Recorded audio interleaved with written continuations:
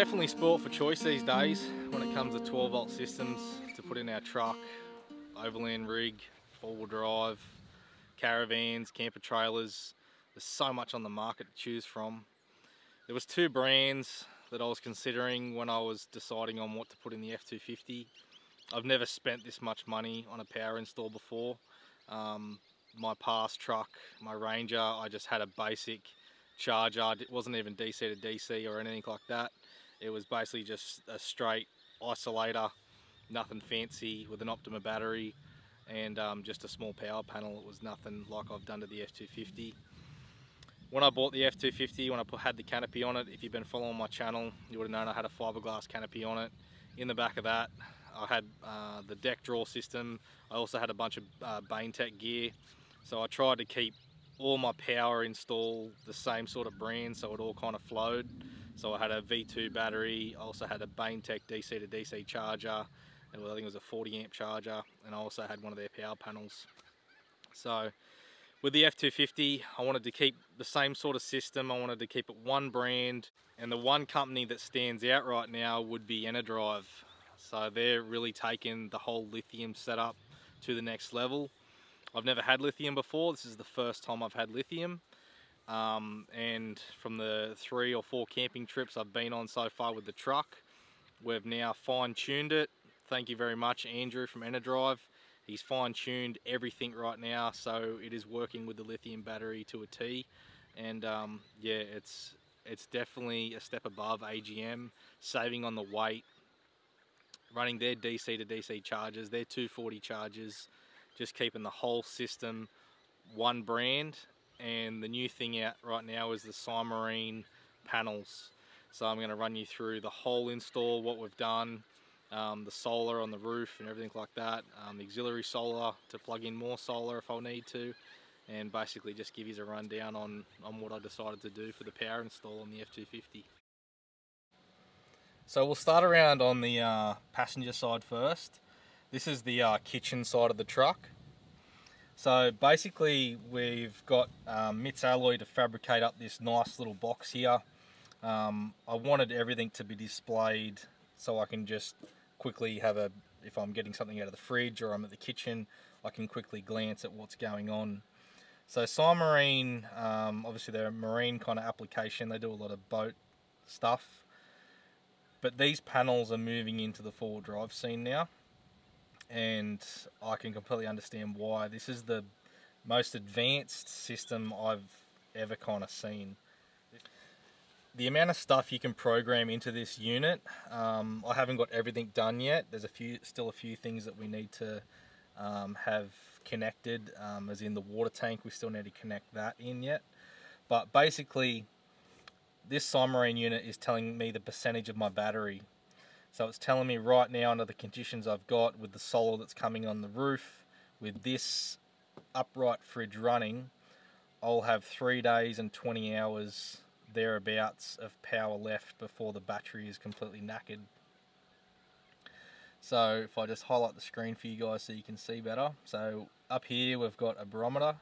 We've also got the date, the time, and then there's the three days and 20 hours or so so we're at 99% on the battery. Coming down now, um, it's very overcast right now, so I'm getting not, hardly any solar coming in. Um, so the DC to DC slash solar is basically 1.4 amps, so not enough going on right now. The sun's behind the clouds. The 12 volt loads on the unit right now, so there's 2.75 amps, which would be this fridge, um, the USB up the top here I have two USB ports um, the 200 amp lithium. So that's given me a readout. I'm pretty sure that's um, what's currently leaving the battery. So we've got here the voltage of the battery um, also got how long's left like on the home screen. We do have a cabin temperature so this is telling me the temperature inside the canopy right now. So it's 25.8 degrees and here's your barograph. So this is basically telling me the pressure and stuff and it's really handy to have that because I can set an alarm or so so I can kind of know when it's going to rain. So right now we're at uh, a 1018. So then it circles back to the home screen. But if you go into more of the advanced settings, you can have this thing pretty much doing anything you want. So I'm also going to get the water tank fitted, so that'll be um, on one of these other screens as I scroll through as well eventually. So after probably after barograph, it'll have my water and stuff like that. So super nice. I'm so happy with it and glad that I spent the money to, to get this installed. So down the bottom here we have uh, basically switches for everything. So um, the fridge is the upright here. Outlet 2, which I'll show you on the other side, is also running the other fridge. So I currently have that fridge off because there's nothing in it. Kitchen lighting. So that turns the kitchen light on. And it's all just light touch. Interior light, that'll turn the interior light of the canopy on. USB, I can turn the USB ports that are on top of this unit on or off from here. So I have them on charging a few things right now. And then cabin lights is the power to my rooftop tent. So my rooftop tent. If you haven't seen that, I have a video of me doing a small power install on that thing um, a few months back. Basically making a power panel and stuff to go in there so I can charge things and also have my lights and everything in there. So that's what that powers. Down here we've got a um, 1000 watt sine wave inverter. This is a remote switch so I can turn it on from this side, save me walking all the way around the other side. And then that just simply turns it off and here we have all the same information that's actually on the Simarine screen. This is on the application. So it's going to tell me exactly what's going on uh, via my phone as well, which is a really cool feature. So we're running four USB ports up there on top of the panel. So down here below the panel we also have our KORR lighting kit, which is basically a dimmable switch just there in the corner. So the wire's running up on the canopy door. We've got the KORR lighting kit throughout the canopy.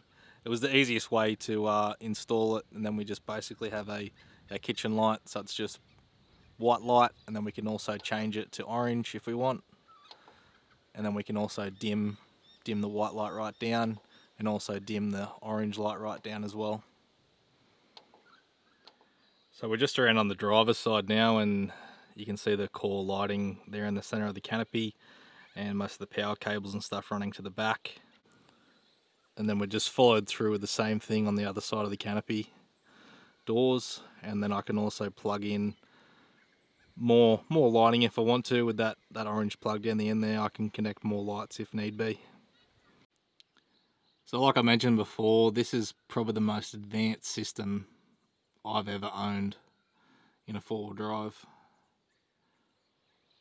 So the reason why I went with the EnerDrive system was basically to kind of keep everything one brand. So we've got a e-power charger there, three bank multi-stage charger, it's a 240 charger. Um, then we've also got 12 volt uh, DC to DC charger just there bringing in the solar. And then we've got a 1000 watt sine wave inverter. A lot of people have been putting 2000 watt inverters in, but I just don't need that much power. And most of the time they're putting 2000 watts in to run things like coffee machines and induction cooktops and stuff like that, which I, I really don't plan to do. So I've just gone with a 1000 watt inverter for now.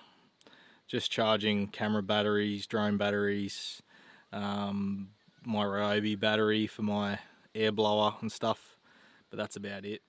So that's a 200 amp hour B-TEC from EnerDrive. So it's going to work in with the EnerDrive system perfectly. It's all um, programmed to match, all tuned to match. So it's um, yeah, all kind of dialed in to work together. So another great thing about the uh, B-TEC battery by EnerDrive is that you have an application on your phone as well. So it's actually a smart battery and you can also get on the Simarine app um, just to double check things are running correctly. So the battery itself has an application and also the Simarine as well. So that way you can uh, just, it's kind of good. You can double check things that things are running according to what the app's saying. So I am running solar on the rooftop tent and I didn't really know back then when I did fit the uh, the flat panel. I was just testing it, wanted to give it a go, stuck it up there with some 3M tape, didn't really think too much of it. And now as I've researched more, these panels do don't like to be kind of mounted flat um, on a surface like this. They kind of lose their efficiency, but again, this is all stuff that we all learn as we, as we do this. So um, the technology is still fairly new, these flexible panels. So basically I'm going to tear this panel off. It was a cheap panel that I just bought online. I'm going to put a better quality panel up there. But I've also now got some um, some thick kind of core flute with like a 5 mil, 10 mil gap. So that way I'll get better airflow underneath the panel, making it more efficient. It's I can't believe how solar works, but you rely on the sun, which creates heat, but the heat makes the panel less efficient. Um, yeah, it's kind of weird how that works. You're relying on the sun to power the panel, but yet if the panel heats up, it's less efficient. So anyway, I'm not a solar expert, but it just blows my mind that that's the way it is. So like, if you were to pour water up there right now on that panel, you'd probably see a spike in amperage coming out of it, and it'd be more efficient. So Again, I've just got to tear this one off, put my, my new, I bought a nice high quality panel I'm going to stick up there. Got the core flute, going to put that underneath it. I'll stick it down the same way with a 3M tape, so that'll be another video coming up. But yeah, so I am running solar. I do have an auxiliary solar port on the side. I've been thinking about putting a hard panel up on the roof of the truck as well. Just um, just getting more solar. Um, the thing is, I'm just trying to I'm trying to reduce weight on the truck as much as I can. Um, I don't want to have things in there that I don't need. So if I can get sort of, ultimately I'd like 300 watts of solar on the rooftop tent.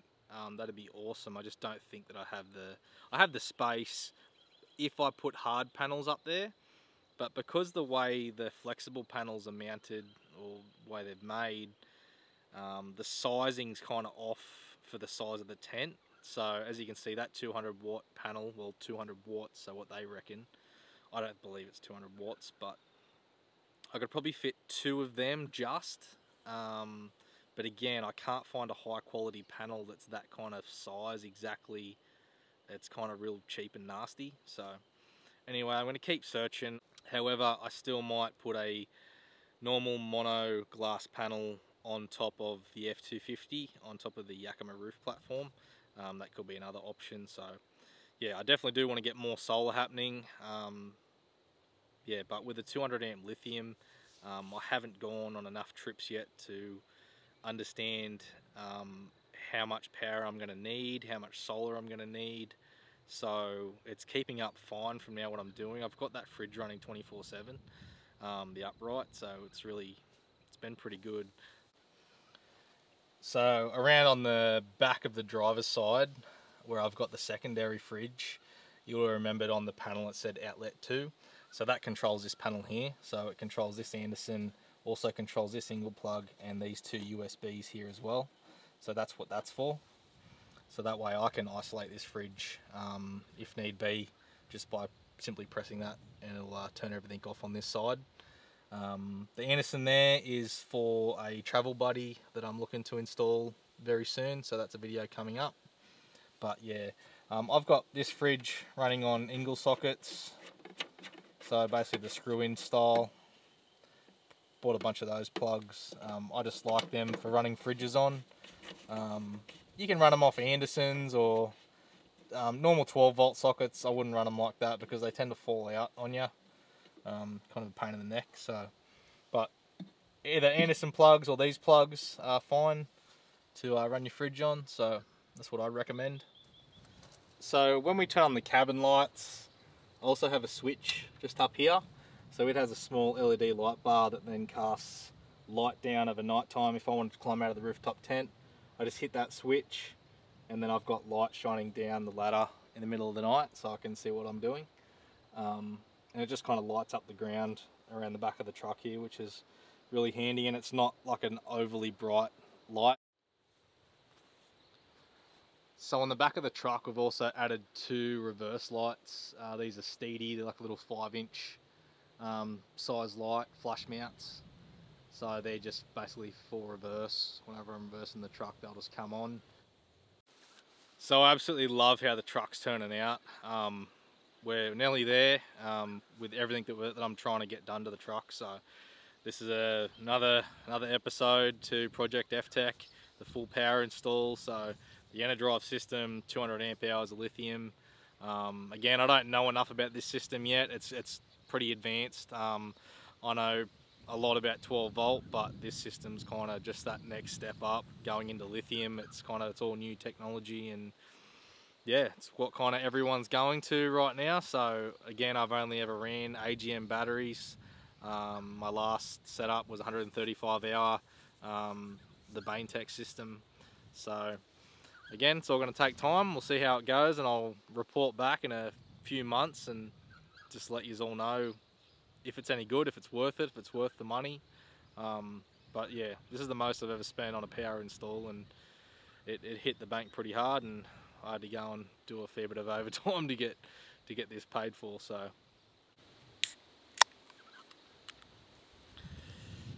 Don't mind if I do.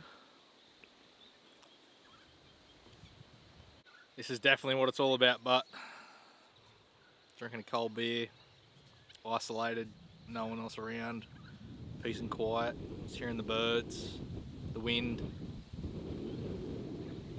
Catch you guys the next one, eh?